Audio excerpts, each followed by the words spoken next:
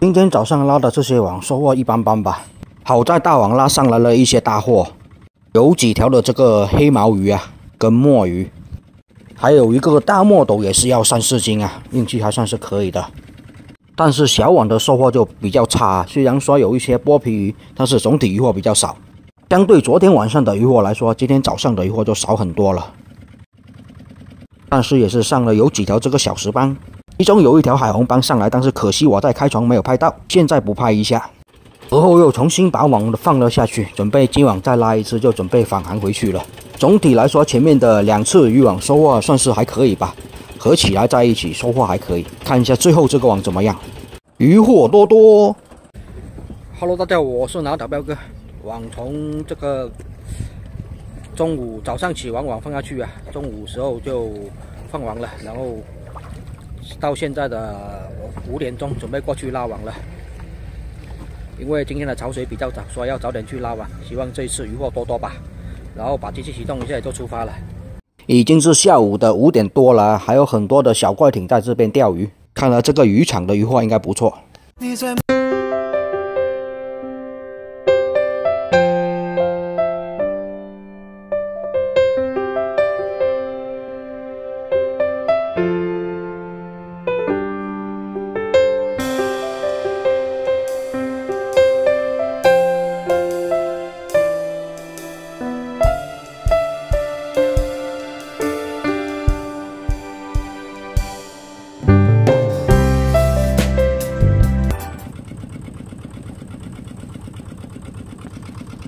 好了，网也就拉上来了，接下来就是鱼获多多的时候了啊！立马就先上来一条小剥皮鱼啊，因为是先从小网拉起啊，所以应该小剥皮会多一些，补多一些小剥皮啊，今晚拿几条煮面吃啊，想想都是挺美味的啊，流口水了。这一下子是连续的来了好几条的这个小剥皮鱼，而且看起来这小剥皮也是挺大条的吧。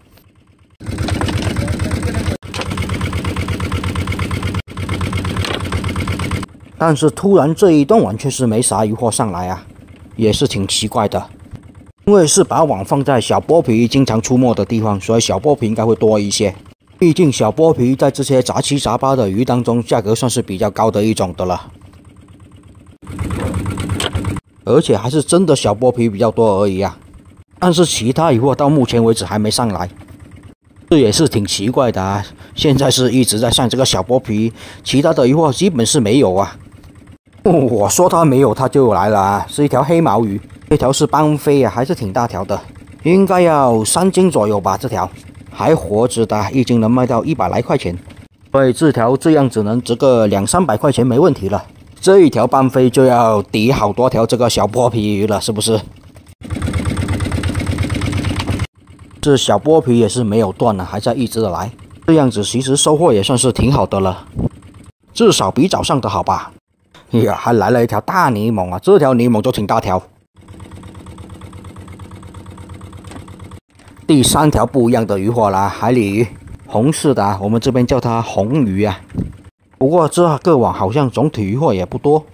哦，来了一条黑毛啊！这条黑毛个头更大了，估计要也是要三四斤吧，差不多。少说三斤应该是有的，啊，而且小网都上了两条大货了，大网应该会比较多了。又是一条红鱼啊！这条红鱼倒是挺漂亮的，不过第一个网后半段这边倒是鱼获比较少，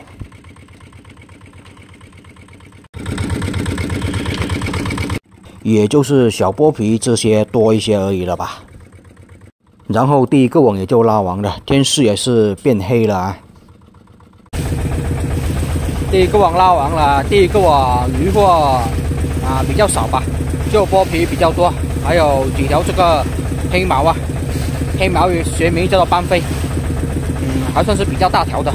现在黑毛价格也是挺不错，啊，总体来说鱼还是偏少吧，但是网比较短，嗯，而且放网，呃，而且没有日落才过去拉网，因为潮水问题啊，所以没办法，现在只能过去拉下一个网了。